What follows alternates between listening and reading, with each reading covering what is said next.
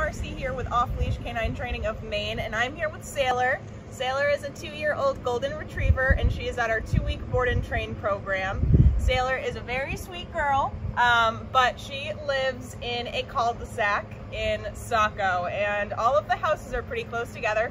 A lot of people have kids and dogs, and anytime someone passes her yard, she goes absolutely nuts. She has an electric fence that she will just run right past. She'll go up to these people and their dogs and she will start barking at them very ferociously.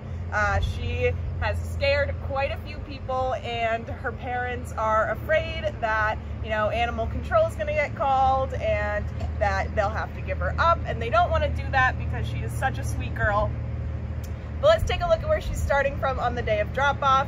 I think learning a bunch of obedience commands and actually paying attention when her owners ask her something is really gonna be a life changer for her. So let's take a look. Sailor, come. Hi, yes. Sailor, come.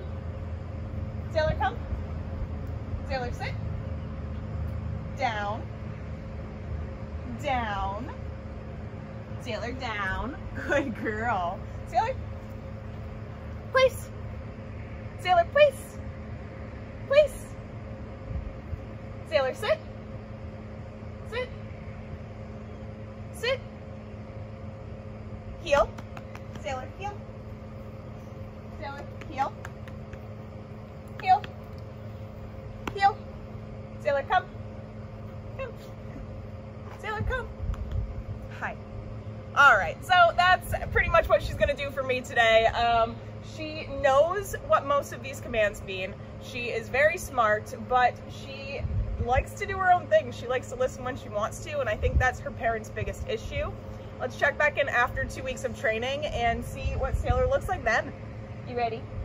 Are you ready to get going? All right, let's do this. Go.